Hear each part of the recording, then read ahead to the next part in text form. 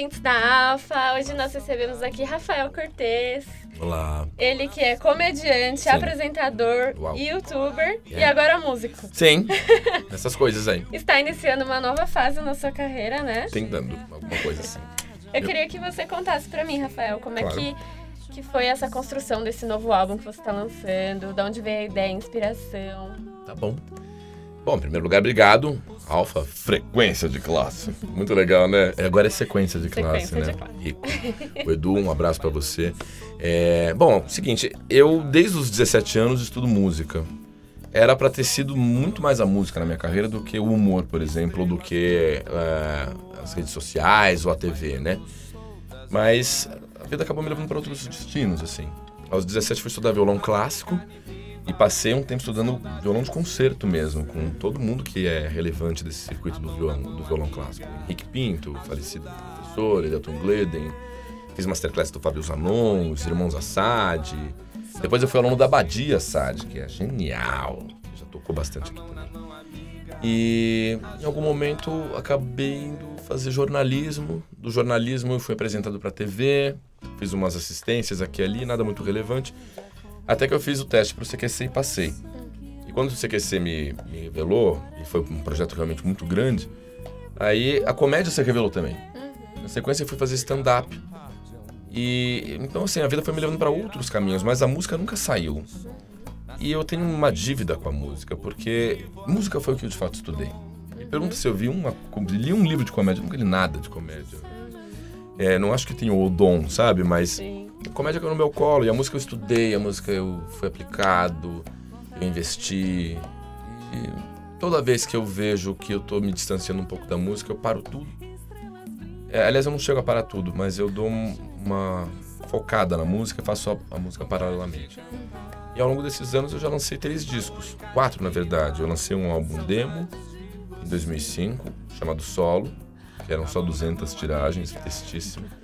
Aí em 2011 eu lancei o Elegia da Alma, que é o meu disco de violão clássico, que foi legal, que eu tava bem na- no auge do CQC, então eu consegui vender 5 mil cópias. assim.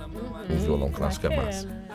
Em 2016 eu lancei um projeto chamado Música Divertida Brasileira, que eu e a banda Pedra Letícia a gente canta as músicas mais engraçadas da MPB em versões pop rock. Que legal. E agora acabei de lançar o Naquele Tempo, que é o meu primeiro trabalho como compositor e cantor de MPB. Olha que louco. Que legal. E de onde que surgiu a inspiração pra compor, então, essas canções? Ah, putz, da, da vida, dos relacionamentos. Cada pé na bunda que eu tomo é uma música bonita que nasce, entendeu? Ou um poema. Aí eu começo os namoros, eu penso, ah, eu vou, eu vou me estrepar em algum momento. Eu já sei que vou me estrepar, mas aí eu falo, ah, mas vão, vão ser canções, vão nascer poemas. É, muito da minha composição, seja escrita, eu tenho um livro, Memórias de Zarabatanas, que são poemas e contos. Seja a escrita, seja musical, independente de ter letra ou não, nasce muito das minhas vivências, especialmente as vivências afetivas. É, e quase todas as minhas vivências afetivas me rendem músicas que ou são tristes ou bonitas, com letras que falam de sentimentos E o que, que significa lançar esse quarto, quinto álbum, né? Quarto, é Quarto. quarto. É. O que, que significa lançar esse quarto álbum agora pra você? Ah, trabalho, significa trabalho. Eu, eu curti pouco até agora. Porque eu tenho uma coisa muito louca, né, acontecendo na minha carreira. Eu não sou conhecido como músico. É uma surpresa as pessoas que devem estar assistindo a gente falando, ele, né? É, então, é, é- é um trabalho de formiguinha. É um trabalho de formiguinha. É, pra mim, lançar é só trabalhar. Quando eu tô em cima do palco fazendo um show, como vai ter agora no dia 28 de novembro, no Blue Note, aí é curtição. Aí eu... Mas é quase sempre o trabalho de curtir começa cinco minutos antes de subir no palco, porque até lá eu tô comandando tudo, falando, gente, como é que tá de ingresso, vendeu, não vendeu, saiu aonde, quem tá aí, quem veio, quem não veio, É, e os músicos, ah, meu Deus. Sim. Eu, eu trabalho muito por esse projeto porque ninguém sabe o que eu tô fazendo. E porque no Brasil é uma merda isso, mas desculpa o palavrão, tá? Mas o, o brasileiro tem esse ranço de achar que o artista só pode ser uma coisa.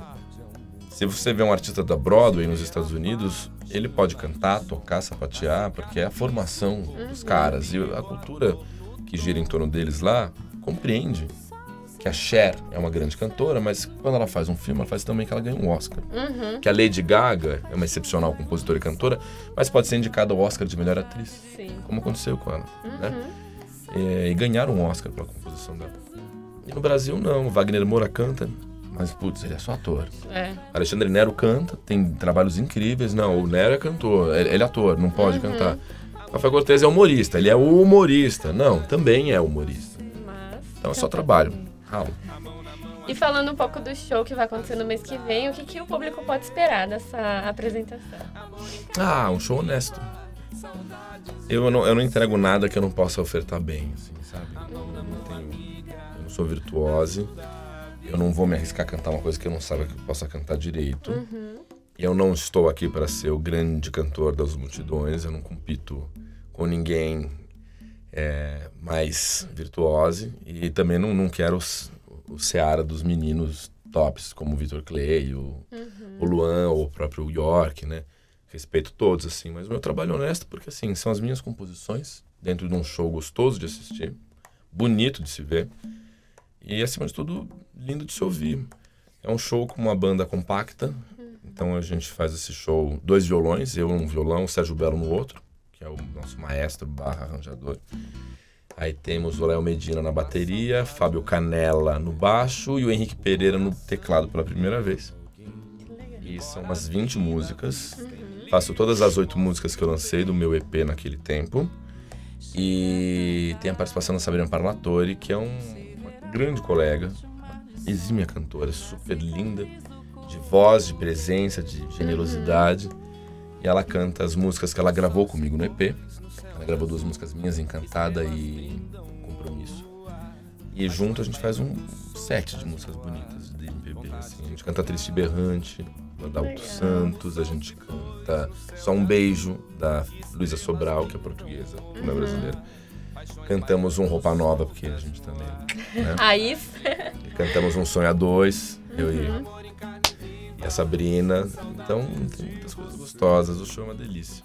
que bacana. São raros. É, e aí, quem que. Quem é a sua maior referência hoje em dia na música? Ah, eu, eu sou que nem meus pais, né? Eu gosto de, de, de MPB dos, dos anos 70, né? Alguns ainda em atividade, como Caetano, eu sou maluco Caetano, gosto muito dele. A minha ídola na vida é Nara Leão, né? Nara Leão é a minha ídola. Inclusive, uma das músicas que tá no EP, chama Encantada, é uma composição minha original para violão instrumental, feita para Nara Leão. Aí, em 2017, graças ao Big Brother Brasil, eu pus uma letra nessa música. Porque eu tava fazendo um quadro de humor no BBB e eu tinha muito tempo livre, eu morava no Rio. E a Globo pagando meu salário, me botando um flat, eu tinha muito tempo livre. Eu falei, vou produzir coisas, né? Em vez de ficar dormindo ou indo pra praia. Praia. Chato praia, né? Praia. Aí eu, eu pus letra nessas, em algumas músicas minhas, que eram só pra violão. Encantada ganhou uma letra, ficou bonita. E a Sabrina cantou comigo. E é uma letra que é uma homenagem à Nara. Que é minha ídola mesmo, né? O Guimarães Rosa, o memorável autor brasileiro, tinha uma frase bonita sobre a morte. Ele dizia, as pessoas não morrem, ficam encantadas. E eu acho que isso aconteceu com a Nara. E encantada tem essa força porque a palavra encantada remete a canto, cantar. Tem a frase do Guimarães. É, então, a Nara pra mim é diva absoluta, mas não, não nego que eu dou uma estremecida gigante diante da Betânia. Quem não, né? Betânia, ela já veio aqui? Não. Você vai entrevistá-la, você vai ver. Maria Bethânia, eu sou devoto, não é que eu sou. Eu sou devoto, como, como quem gosta de Santos. Vejo a Betânia gaguejo. Ai, Jesus, sou mu- muito louco por eles, adoro. Que legal. E conta pra gente o que, que os fãs podem esperar pro futuro. Depois Ora, desse show, o que, que Rafael Cortez agora prepara pra eles? Olha, o Rafael Cortez, aqueles que falam de ser na terceira pessoa, o Pelé, né? O Pelé faz isso. É, puxa, eu tô numa fase muito louca da minha carreira, porque eu tinha um feeling, anos atrás, de que o empreendedorismo e a multifacetação eram as ferramentas que a gente teria que utilizar no futuro. O futuro chegou. E antes, se o empreendedorismo e multifacetação eram coisas opcionais, para mim foi uma opção, né? Eu prefiro ser empreendedor e multifacetado. Hoje, isso é uma condição sine qua non. Então eu tô numa carreira absolutamente é, independente. Não estou vinculado com nenhuma grande corporação de mídia, não estou em nenhum grande projeto. Eu vivo basicamente dos projetos que eu criei. Então eu vou continuar fazendo isso. Porque é o mundo que se desenhou, é o Brasil que se desenhou, né? Sem empregos formais, sem grandes vínculos. Né? As pessoas ficam saltando de trabalhos em trabalhos e o mercado artístico, de um modo geral, está muito louco. Então tem horas que eu falo, pô, se eu vivesse de música, eu ia me ferrar. Então eu tenho a comédia para dar uma salvada. Sim. Às vezes a comédia não vai tão bem, aí eu, putz, o YouTube vai fundo. Eu tô com Love Treta, meu canal no YouTube. Ah, mas essa semana deu uma caída na audiência. Então se segura no show de comédia stand-up, vai rodar. Eu faço isso. Vocês podem esperar que eu continue produzindo os meus próprios conteúdos é, na linha do empreendedorismo e da multifacetação. Vem aí talk show. Um talk show legal que eu tô fazendo, que eu já fiz uma primeira temporada. A gente vai agora pra TV aberta. Que legal. Espero que role.